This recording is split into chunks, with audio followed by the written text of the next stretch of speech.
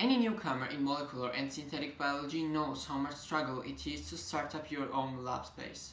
A place that will allow you to do as many freaky experiments as you would like, as many projects as you would like, and furthermore will benefit as well as society as your own lifelong scientific curiosity. One of the biggest problems right now is the inaccessibility of scientific technique.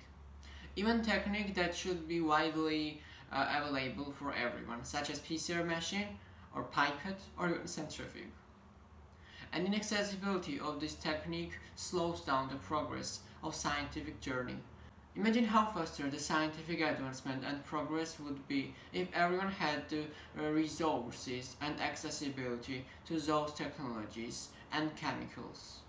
Science would go even farther than our current imagination could envision right now and every literal definition of progress would be easily achievable.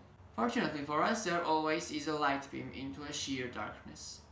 Two weeks ago, I found a company that is selling an accessible and easily available PCR machines for rather an amazing price range.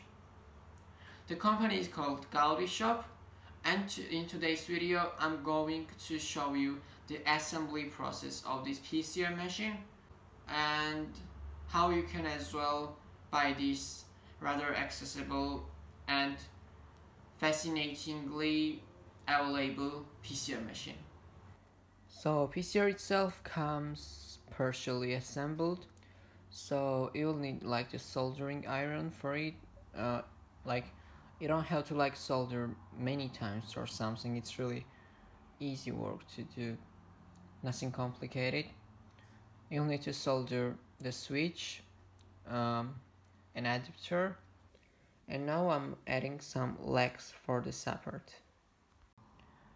This thermocycler from Gaudi Labs has the five stops like the five spots for the PC reactions and I think it's pretty reasonable and enough for like the biohacking spaces and even like the conventional laboratories for like beginning.